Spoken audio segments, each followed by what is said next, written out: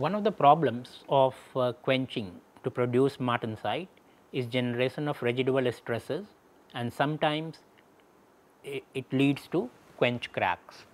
So, let us see why this happens.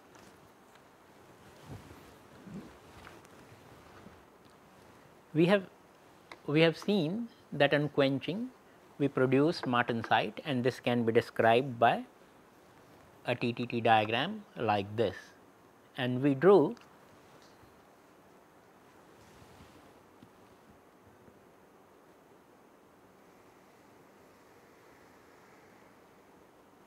and we drew a single cooling curve or a quenching curve like this giving us martensite. But note that if, uh, if a large object is being quenched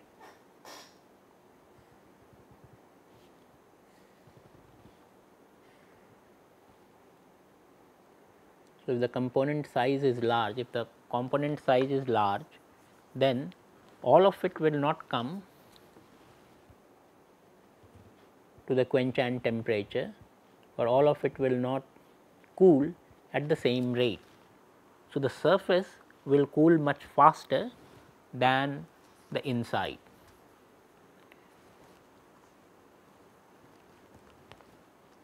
So, this is the object and the surface will cool faster than inside.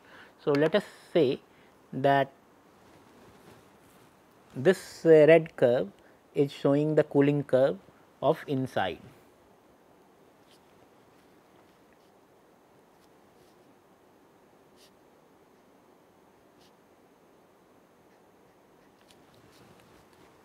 And let me draw another curve with a faster cooling rate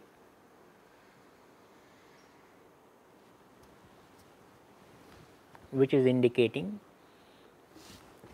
the surface, the cooling rate at surface.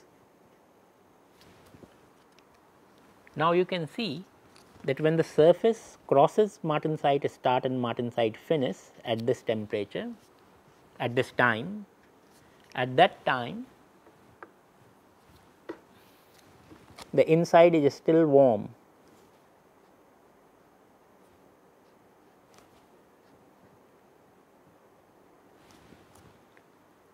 So, the surface has dropped below MF temperature and has formed martensite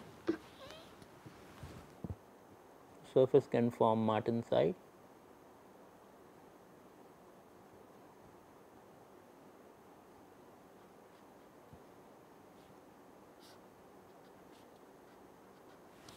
But inside is still warm and is still austenite.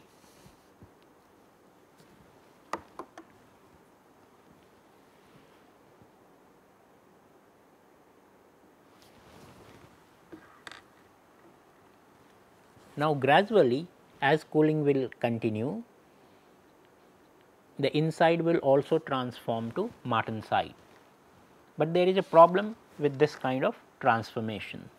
So, let us look at, let us consider the volume change during transformation.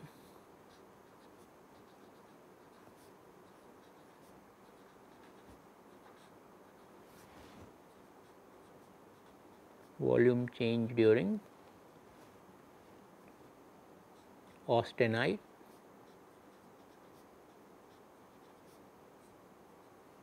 to martensite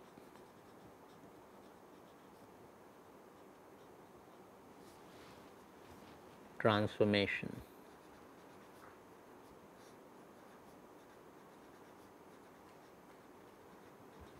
We have looked at the crystal structure and we said that the austenite was cubic close pack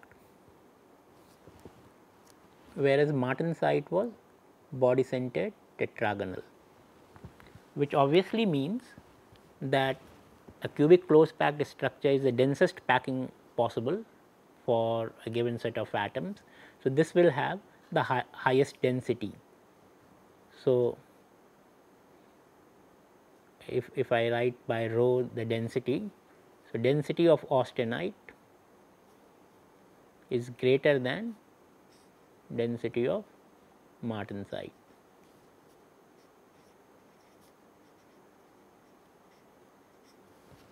or in terms of volume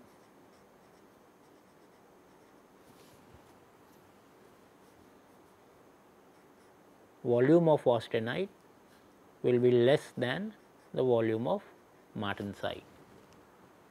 So, which means an expansion takes place when austenite will change to martensite volume will increase.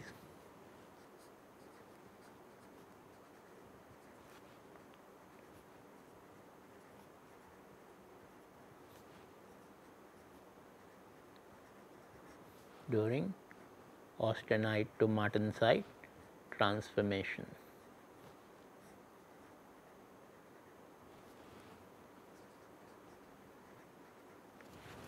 This volume increase is now going to cause some problem in our large component quenching. We saw that initially the outer shell which cooled faster formed martensite.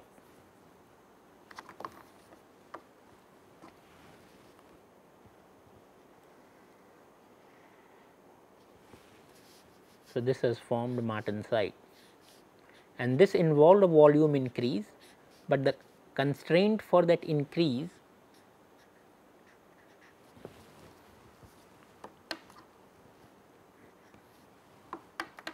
was much less because it was in the quenching medium. So, since the component was in quenching medium, martensite wanted to expand and there was a space for it to expand at least outwardly. So, outwardly there was no constraint for volume expansion, but later on when the inside also crosses martensite start and martensite finish and it wants to transform to martensite. So, now when this gamma will cool, this will also like to expand, but then it is inside a hard and brittle martensite casing.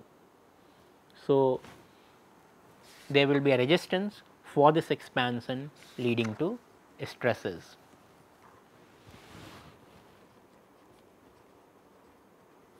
So, when the in when the inner part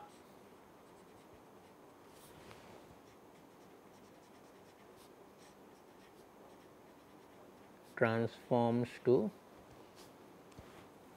martensite the associated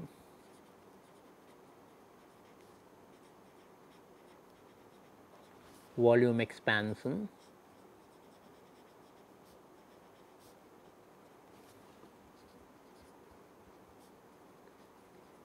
Is registered by the already transformed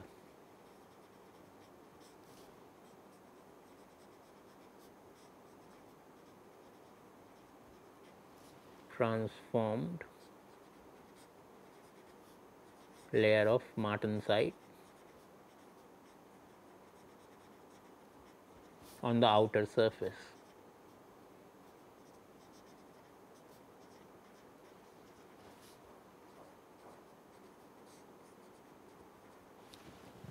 So, when this gamma wants to transform to martensite, when this will want to transform to martensite, it will also like to expand that expansion is registered. This will lead to compressive stresses.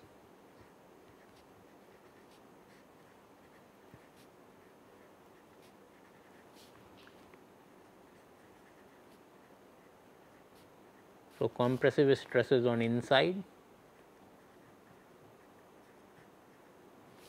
and correspondingly tensile stresses on the surface.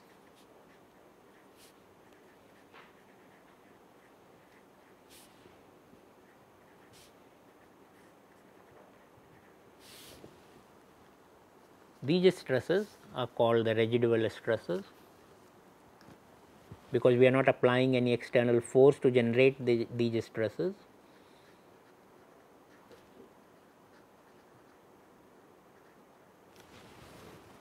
and in particular tensile stresses are quite dangerous because they lead to cracking and these tensile stresses you can see are there in the hard and brittle martensite layer.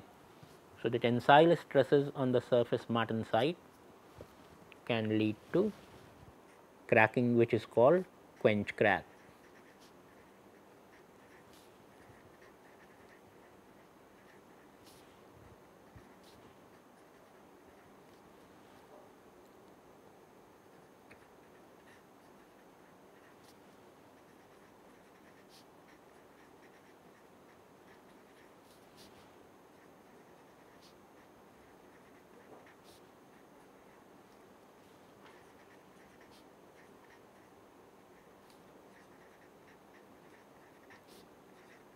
Because it is happening during quenching during the formation of martensite they are called quench cracks. So, the whole effort of the heat treatment if, if quench crack happens the whole effort of heat treatment is lost.